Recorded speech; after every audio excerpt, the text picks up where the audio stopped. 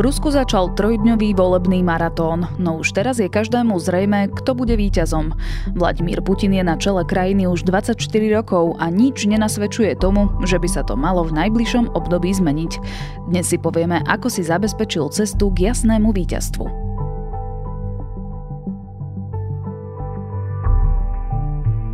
Je piatok, 15. marca, meniny má Svetlana. Bude jasno až polojasno a príjemne teplo, 12 až 17 stupňov. Vítajte pri Dobrom ráne, dennom podcaste denníka ZME s Janou Maťkovou.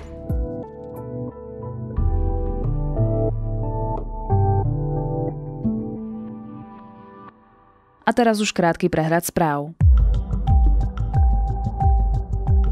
Andrej Danko na spoločnej tlačovke s ministerkou kultúry povedal, že RTVS nie je ekonomicky udržateľná, je prezamestnaná a má nevýhodné externé zmluvy.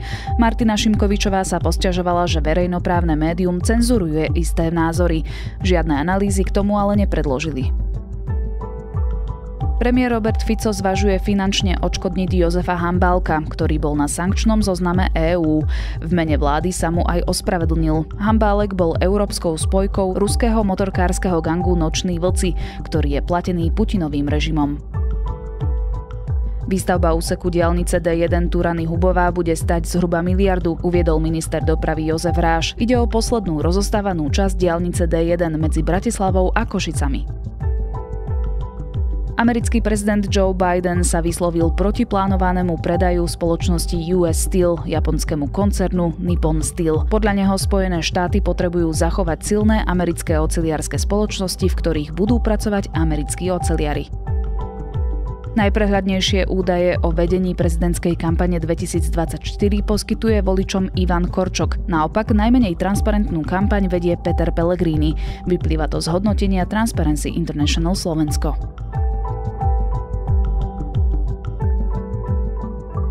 Viac aktuálnych správ nájdete na Sme.sk alebo v mobilnej aplikácii Denníka Sme. Прошу вас прийти на выборы и выразить свою гражданскую и патриотическую позицию. Prejavte svoje vlastenecké cítenie a voľte kandidáta pre úspešnú budúcnosť milovaného Ruska. Takto sa prihovoril Vladimír Putin niekoľko hodín pred otvorením volebných miestností.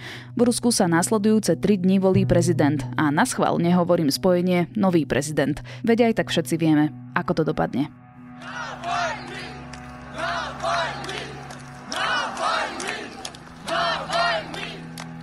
Voľby však sprevádza nielen vojna na Ukrajine, ale aj nedávna smrť Putinovho kritika Alexeja Navalného. A zároveň hovoríme o najnižšom záujme Rusov o voľby v histórii vôbec.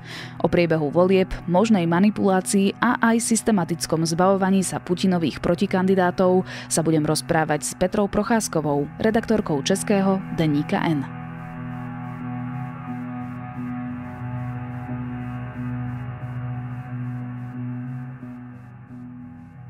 Pani Procházková, asi by bolo naivné sa pýtať, či má šancu vyhrať voľby niekto iný než Vladimír Putin. Nemá. Vlastně oni to ani nejsou tak volby eh, z toho pohledu naší, eh, našeho systému volebního, protože ty šance tam ani nejsou minimální, prostě nejsou žádné. Eh, ti protikandidáti byli vybráni tak, aby nepředstavovali žádnou reálnou konkurenci Vladimíru Putinovi. Eh, takže tam spíš se hraje v těchto volbách, mě ani to slovo volby nejde úplně moc z pusy, spíš se hraje o účast a o to, aby ani jeden z těch protikandidátů nepřekročil 10%. Kdo vlastně proti němu kandiduje?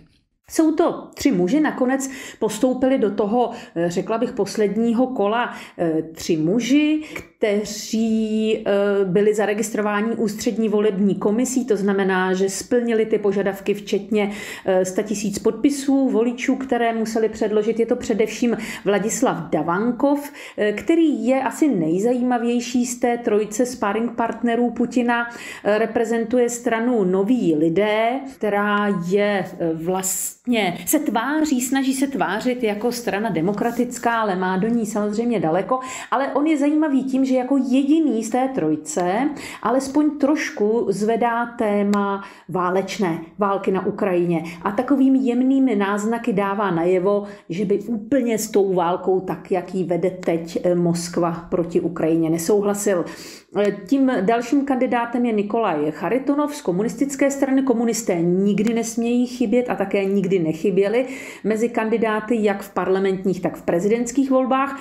A poslední je Leonid Slucký, eh, reprezentant, šéf vlastně velmi známé liberálně demokratické strany. To je taková nacionalistická strana proruská, která vždycky byla s Kremlem solidární. Takže eh, tito lidé Tito tři muži kandidují proti Putinovi a největší šance být druhým, protože tady se hraje o to druhé místo, o tom prvním vůbec nebudeme mluvit, eh, má právě Vladislav Davaňkov, kterému se Předpokládá se, že by mohl dosáhnout až 7% hlasů. Pred pár mesiacmi sa však hovorilo aj o Jekaterine Duncovej a aj o Borisovi Nadeždinovi, ktorí vystupovali proti režimu pomerne kriticky, hovorili otvorene o tom, že chcú koniec vojny na Ukrajine.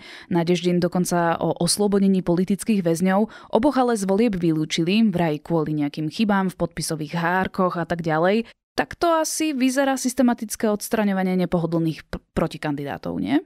Určitě ten plán Kremlu eh, je takový, že ti protikandidáti nesmějí zastínit ani náznakem zastínit eh, Vladimíra Putina. A ehm, vy jste jmenovala eh, ty dva, bych řekla, ty dvě nejvýraznější osobnosti, novinářku Duncovou, která ovšem byla odstraněna hned na těch počátečních fázích.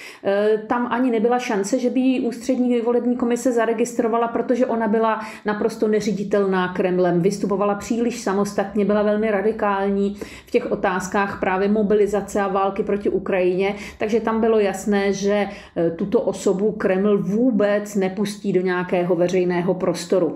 E, s Naděždinem to bylo vlastně velmi zvláštní, ten se dostal daleko dál, e, ono vlastně to vypadalo, že by ho ústřední volební komise i mohla zaregistrovat. Pravděpodobně Kreml i počítal s tím, že by se Boris Naděždin mohl stát jedním z těch protikandidátů, ale zdá se, že nakonec to na ně bylo příliš moc, že byl příliš vidět. Eh, myslím si, že tím rozhodujícím momentem, který rozhodl o tom, že bude vyřazen z předvolebního boje, byly dlouhé fronty občanů před místnostmi, kde schromažďoval podpisy na svou podporu. Těch 100 tisíc podpisů, které měl předložit ústřední volební komisi, aby byl zaregistrován. Kdyby tam ty fronty nebyly, možná by Kreml mu dal zelenou a on by se voleb mohl účastnit. Ale to, jak jeho vlastně ten protiválečný postoj, jakou získal podporu mezi občany, toho se Kreml zalekl a rozhodl se, že ho prostě do toho, do toho finále nepustí. Bola v Rusku vôbec nejaká predvolebná kampaň, lebo hovoríme samozrejme o období, kedy Rusko je vo vojne na Ukrajine. Nedávno um, otriasla svetom smrť um, asi najväčšieho kritika Putina Alexeja Navalného. Premietlo sa to nejako do posledných týždňov pred voľbami? Tak jakási imitace eh, předvolební kampaně eh, se v Rusku odehrávala, eh, i když například hm, takové ty předvolební debaty na federálních televizních kanálech, ty se uskutečňovaly ovšem vždycky bez účasti toho hlavního kandidáta prezidenta Putina. Ten si jede takové své solo, on vlastně tam těžko odhadnout, co je předvolební kampaň a co je jeho běžná prezidentská agenda, ale vlastně všechno, co on teď dělá, tak můžeme pokládat za za eh, předvolební eh, kampaň. On je daleko aktivnější, než eh, dřív jezdí po ruských regionech. Obrovské sliby takového sociálního charakteru z jeho úst znějí. Slibuje ženám samoživitelkám, rodinám s dětmi, slibuje změnit daňový systém tak, aby ti nejbohatší platili víc a naopak ti ten střed a ty chučí, tam se jim jaksi daňově ulevilo. Takže je to čistě taková populistická ruská jako politika, kterou on se snaží nalákat voliče, aby přišli k urnám. Že ho budou volit, to on pokládá za jednoznačné. Tam se předpokládá, že on by letos Putin mohl dostat přes 80% hlasů těch, kteří přijdou. Ti ostatní tři se pokoušeli o jakousi kampaň, ale bylo to spíš, jako bych řekla, legrační. Ty dokonce na těch předvolebních debatách v televizi, oni se jich ani moc nezúčastňovali, posílali tam za sebe jakési poradce a pomocníky, takže eh, já jsem na ruských sdělovacích prostředcích a ani vlastně na sociálních sítích příliš nějakou žhavou eh, kampaň neviděla. Ano, smrt Navalného bych řekla, že eh, zatřásla tím veřejným prostorem, ale jak dalece, to uvidíme v neděli, kdy by měli lidé, kteří nechtějí volit Putina, eh, dát najevo, že tedy, že tedy stojí v opozici tomu režimu tak, že přijdou přesně ve 12 hodin na volební, do volebních místností a odvolí tedy v těch 12 hodin. Uvidíme, jak tato akce, kterou Navalný také před svou smrtí schvaloval a nyní prosazuje eh, jeho eh, manželka, paní Navalná, jak tato akce, jakou bude mít odezvu v Rusku, kolik lidí se odváží takto dát najevo nějaký nesouhlas s Kremlem. Как именно это сделать, нам успел рассказать сам Алексей. Нам нужно использовать день выборов, чтобы показать, что мы есть и нас много. My nastajaší, živí, reálne ľudia. Pri tom proteste sú presne výzvy, že ľudia majú znehodnotiť svoje hlasovacie lístky alebo ich hodiť proti kandidátovi, prípadne aby naň napísali meno Navalny. Mňa ešte zaujala jedna udalosť, ktorá sa stala pred pár týždňami, teda krátko pred týmito voľbami, ktoré sa budú konať od piatka do nedele. Vo februári mal totiž Vladimír Putin rozhovor s kontroverzným krajine pravicovým moderátorom uh, Tuckerom Carlsonom, ktorého predčasom vyhodili z Fox News.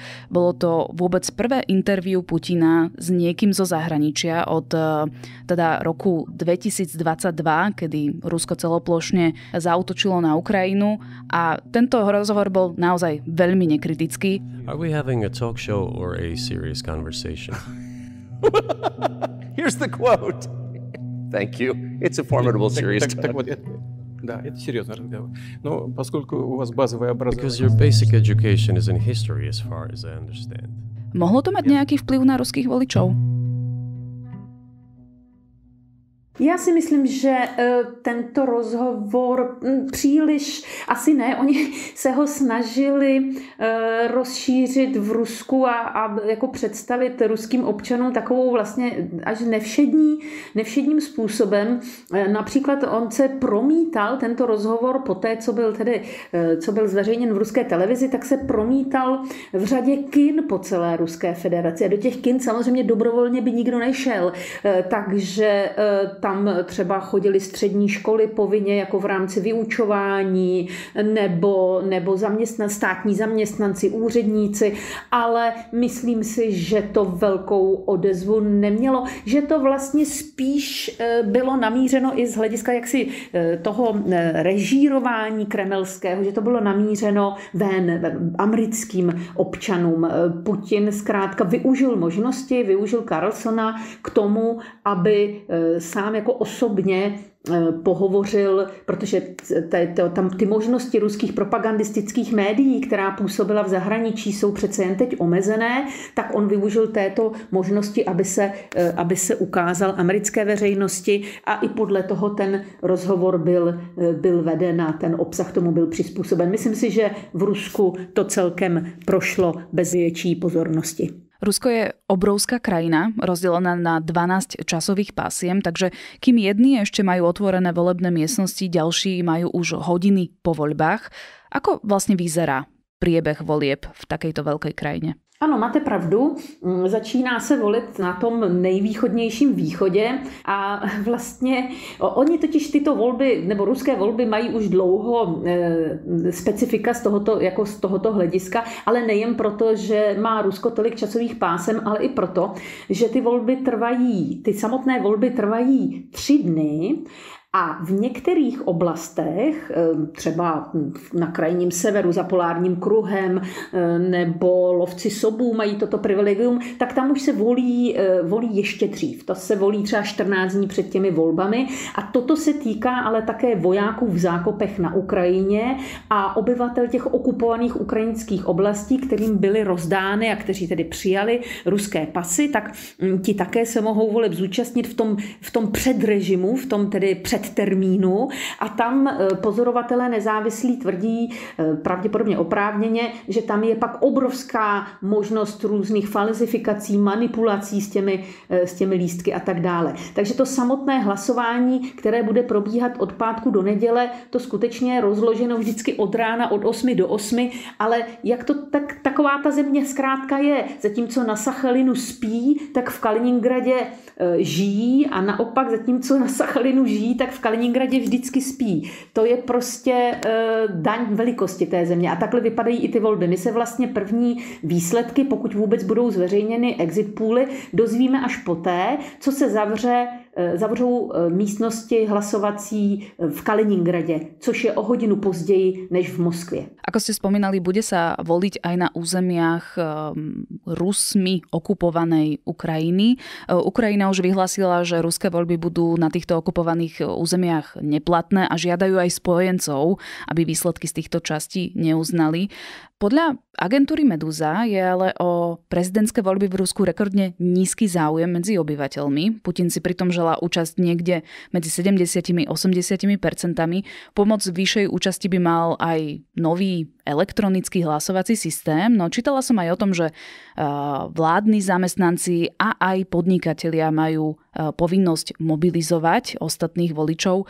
Má Rusko naozaj problém zbudiť v ľuďoch záujem o voľby? Myslím, že určitě. On to je starý problém v Rusku. Vždycky byl problém účasti ve volbách, pokud byl ten výsledek tak jednoznačně dopředu znám. A e, tyto volby, e, které mají proběhnout teď o víkendu, tak ty jsou z tohoto pohledu vlastně úplně, bych řekla, nejhorší. Ještě nikdy e, to nebyla vlastně taková show, eh, která se vlastně volbám, jak je známe my, tak málo, málo podobá. No tak samozřejmě lidé, když vědí, že jejich hlas vůbec nic neovlivní, že ten výsledek je dán, že eh, zkrátka je úplně jedno, co udělají, jestli budou volit nebo nebudou, že zkrátka ta situace bude taková, eh, jakou si už zrežírovali v Kremlu předem, no tak ta motivace jít k volbám je malá. Takže, takže organizátoři voleb vlastně stát stát se snaží lidi motivovat různým způsobem, více, více či méně směšným.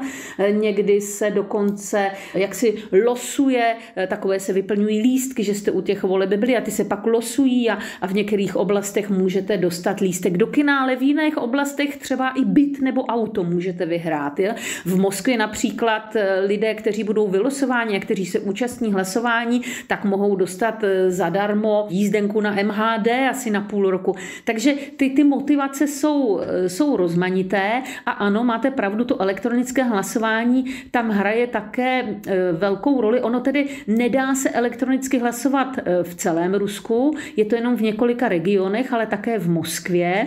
A samozřejmě zase to elektronické hlasování, které probíhá prostřednictvím takového státního portálu GOS-uslugy, tam zase jsou velké pochybnosti o tom, že je anonymní, dá se vysledovat, kdo hlasuje, dá se vysledovat, jak hlasuje a samozřejmě jsou tam velké obavy i z manipulace s těmi výsledky, takže e, to je prostě další takový fenomén ruských voleb.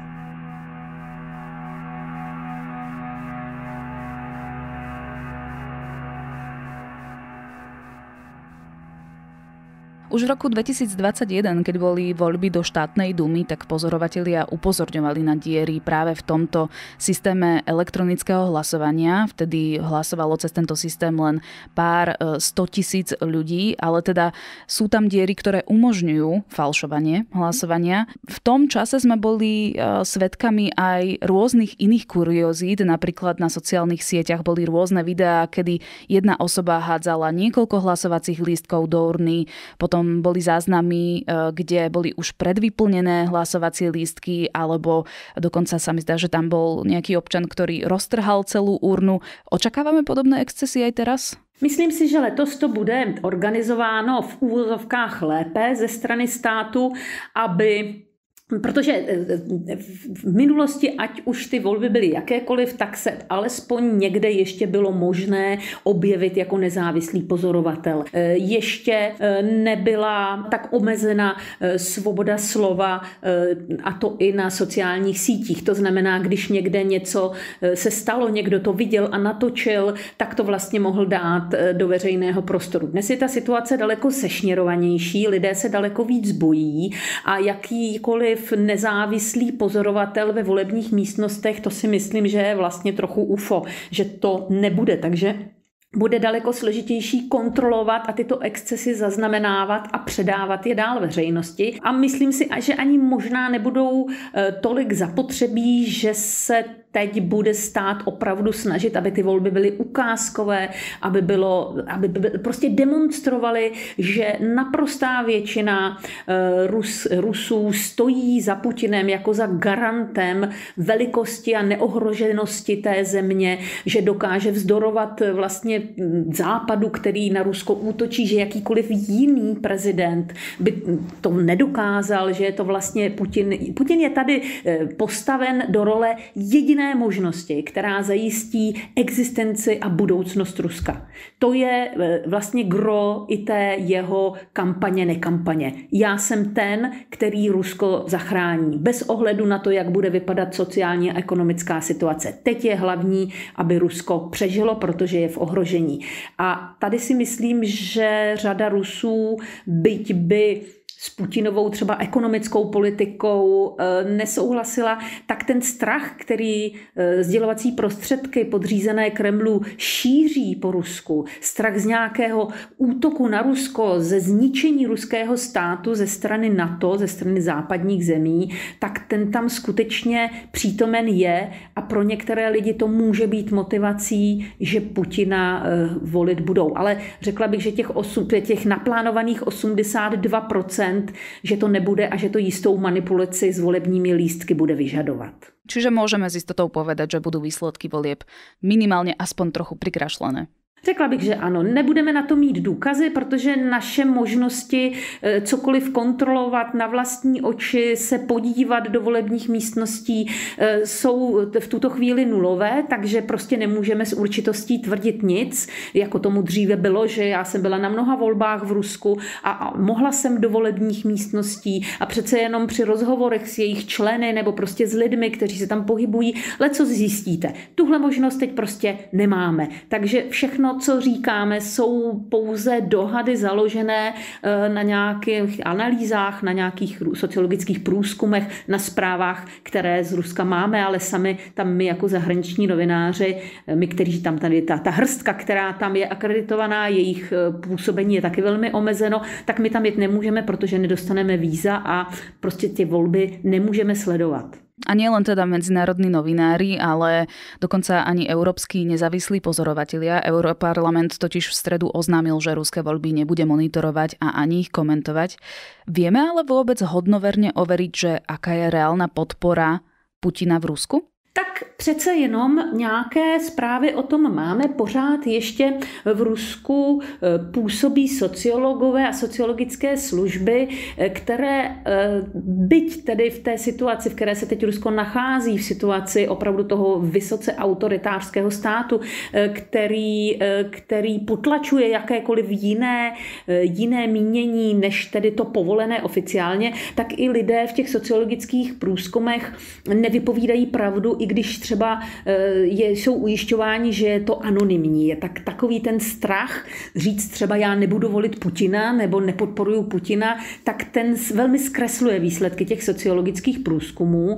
Nicméně eh, podle například podle výsledku té sociologické služby Levada Centrum víme, že skutečně podpora Putina je vysoká, že může, může dosahovat až těch 70 třeba procent. Není to asi výsledek jak nějaké velké odanosti a lásky k Putinovi, ale k Putinovi jako jediné možnosti. On prostě dokázal vytvořit situaci, kdy je pro mnohé lidi, asi pro většinu Rusů, jedinou alternativou, jedinou alternativou nějaké budoucnosti, přetrvání státu a Rusové se tradičně bojí změn, takže on slibuje, že se nic moc zásadního nezmění. Není, ten život váš není nijak ideální, ale já vám slibuju, že nebude horší. A to pro mnohé Rusy je natolik lákavé v té hrůze, že všechny změny, které oni si pamatují, vedly skoro vždycky něčemu mnohem horšímu, než zažívali, že skutečně eh, to může vést k tomu, že ta podpora Putina je stále stále velmi vysoká. Zároveň tam asi hra veľkú úlohu aj silná mediálna propaganda. No, to určitě veškerá nezávislá média vlastně byla z Ruska vykázána. A i když teda je třeba říci, že kdo chce sledovat nezávislá média a má přístup k internetu, a to je dnes naprostá většina obyvatel Ruska, tak může. Může sledovat televizi Došť, může číst Medúzu, eh, může sledovat eh, stovky kanálů na sociální síti Telegram, které přinášejí nezávislé informace. Eh, YouTube je stále přístupný v celém Rusku, takže kdo chce, může, ale Přesto možná řada lidí eh, je tam, hraje tam roli. Taková ta snaha, když eh, zkrátka nemám na nic vliv, ač eh, bych se třeba snažil, nemohu nic ovlivnit, tak je lepší nevědět. Takže řada lidí zkrátka nevy, nevyhledává tu nezávislou informaci a spokojí se s tím, co, co prostě předkládá jeden z televizních kanálů, kterých tam mnoho a které jsou všechny dnes kontrolovány eh, Kremlem. Co čaká Rusko po opätovnej výhre Vladimíra Putina? No já si právě myslím, že nic, nic zvláštního, co bychom neviděli teď v těch posledních měsících. Ten režim eh, přitvrzuje stále více a více, potlačuje jakoukoliv jinakost, um, myslím si, že právě to, co můžeme očekávat, je, že se nic moc zásadního nezmění, že uh, Putin pojede dál v těch kolejích, v kterých jede teď. Uh, ta retorika bude stále stejná. Válka na Ukrajině s největší pravděpodobností uh, potrvá a ty represe, které, kterých jsme svědky, budou také pokračovat, takže neřekla bych, že se něco změní. Právě ty volby jsou natolik nezajímavé, bych řekla, z hlediska toho, že bychom je osl, o, jaksi e, označili za nějaký přelomový, přelomový moment, to vůbec ne. Ty volby vlastně mají pouze potvrdit, že Putin, e, Putin zůstane dalších šest let u moci a pokud se dožije roku 30 eh, v té funkci, eh, v které, eh, v té nejvyšší funkci, tak se stane, tak překoná i Stalina, stane se vlastně nejdéle panujícím vladařem v Rusku. Toľko redaktorka Českého denníka N Petra Procházková. Ďakujem, že ste prijali pozvanie do Dobrého rána. Krásný den vám přeji.